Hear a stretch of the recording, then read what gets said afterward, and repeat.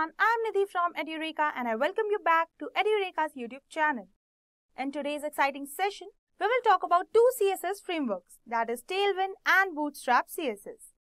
But before we get into the details, make sure to subscribe to our YouTube channel and hit the bell icon to stay updated on latest tech content from Edureka.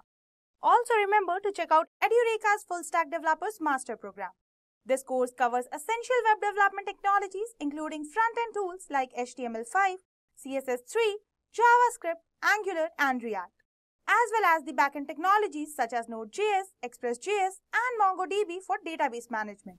With over 200 hours of interactive learning and capstone project, you will gain a practical experience to become proficient full stack developer. So you will find the link to this course in the description box below. So now let's outline what we will cover in this video. First, we will start with the brief introduction of both frameworks and why this comparison matters. Then we will dive into the Bootstrap understanding, what it is, how it works, and why many developers prefer it. Thereafter, we will discuss the Tailwind CSS, how it differs from Bootstrap, its utility-first approach, and why it's gaining popularity. Once we have covered the both frameworks, we will compare them side by side, discussing the key differences like design philosophy, customization, performance, learning curve, and community support. After that, we will talk about when to use Tailwind versus Bootstrap, helping you to decide which one is best for your project. After that, we will focus on pros and cons of Tailwind and Bootstrap CSS. And finally, we will wrap it up with a conclusion giving you a clear answer as to which framework might be a better choice for you. So let's get started. Bootstrap and Tailwind are both super popular CSS frameworks but they take completely different approaches. Bootstrap gives you pre-built style components for quick development, while Tailwind offers utility classes for full customization. So which one should you use and which one is better? In this video, we will break down both frameworks, compare their pros and cons, and help you to decide best fit for your project. So stick around till the end. Let's have a look at what is Bootstrap. Bootstrap is one of the most widely used CSS frameworks for a good reason. It makes web development faster and easier. It comes with a set of pre-built design components like buttons, models, and grids. So you don't have to write CSS from the scratch, you can just add a class and you get a fully styled element instantly. For example, if you need to add a button instead of writing the custom CSS, you can simply use this. Bootstrap also includes a powerful grid system that makes responsive design a breeze. That's why it is a go-to choice for developers who want a quick professional looking UI without spending so much time on styling. But while Bootstrap is a great for speed and consistency, it does have some limitations, especially when it comes to deep customization. So now that we understand Bootstrap, let's move on to the Tailwind CSS and see how it works.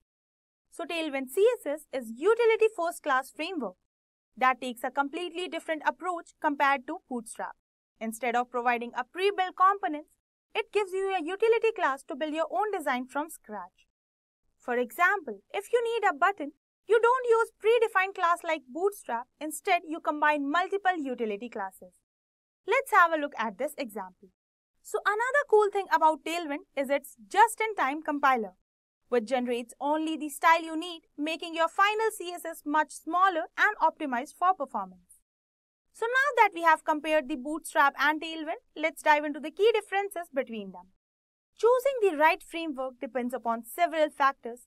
Let's go through them one by one. So the first one that we have is design approach. Bootstrap comes with pre-style components like buttons, forms, models. Everything is ready to use. You just add a class and get fully polished UI instantly. On the other hand, Tailwind doesn't give up pre-built designs. Instead, it provides you utility class that lets you to style everything from scratch, giving you a complete design freedom. So we have already seen an example that to create a button in Bootstrap and Tailwind. So if you want ready-made styles, Bootstrap is way to go, but if you prefer complete control over your design, Tailwind is better. The next one we have customization. Bootstrap is great if you want a standard clean UI without tweaking much. You can customize it, but it requires overriding styles. Tailwind gives you a full control over the look of your site from the start, making it a perfect for unique designs. So if you want quick styling, Bootstrap is win. But if you need complete creative freedom, Tailwind is a better choice. Next we have is learning curve. Bootstrap is easier for beginners because everything is pre-styled. You don't need to write much in CSS. Tailwind takes a little more time to learn since you have to get comfortable with utility classes, but once you do, it can be faster and more efficient. So think of it like this. Bootstrap is like pre-made meal, you just heat and eat. While Tailwind is like cooking from scratch, you control the ingredients, but it takes efforts. So if you're just starting out, Bootstrap is simpler, but if you're willing to learn, Tailwind can be more powerful in the long time. So the next one is performance and file size. Bootstrap comes with lot of built-in styles. Even if you don't use them all, this can lead a slightly larger CSS file. While Tailwind's just-in-time compiler removes unused styles making it lightweight and optimized. So for better performance and smaller file sizes, Tailwind is a clear edge. The next one that we have is community and ecosystem. Bootstrap has been around for over a decade, so it has a huge community, tons of documentation and many third-party themes.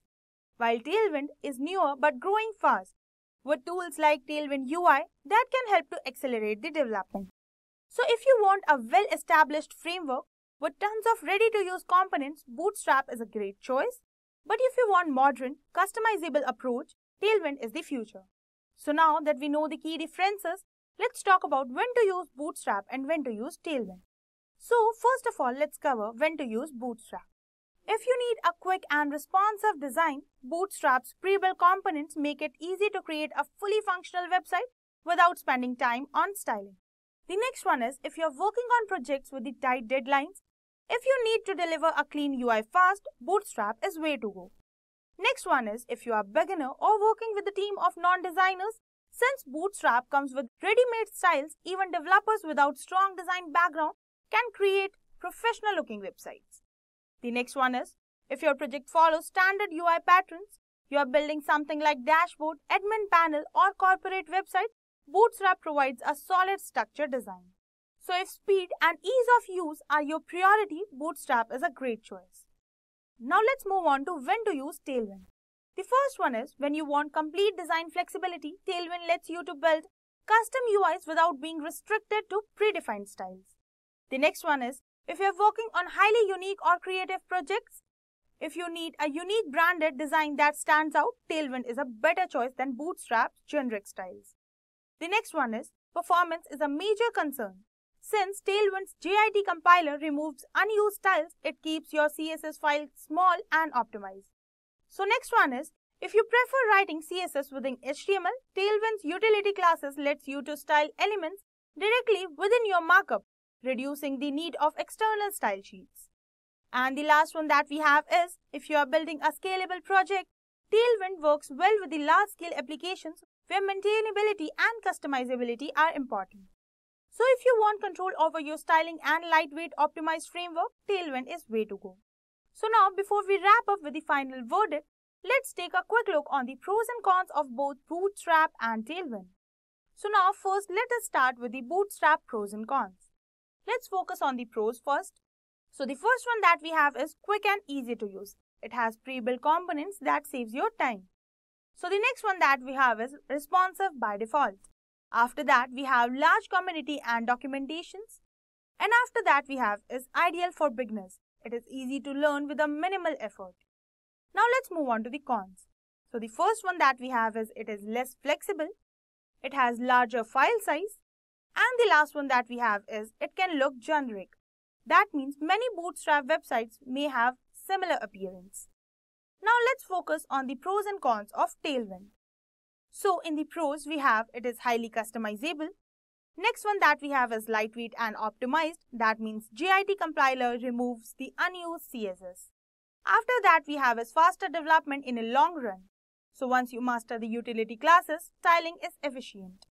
After that we have is great for unique projects as it is perfect for custom UIs and creative designs. Now let's move on to the cons. So the first one we have is steeper learning curve.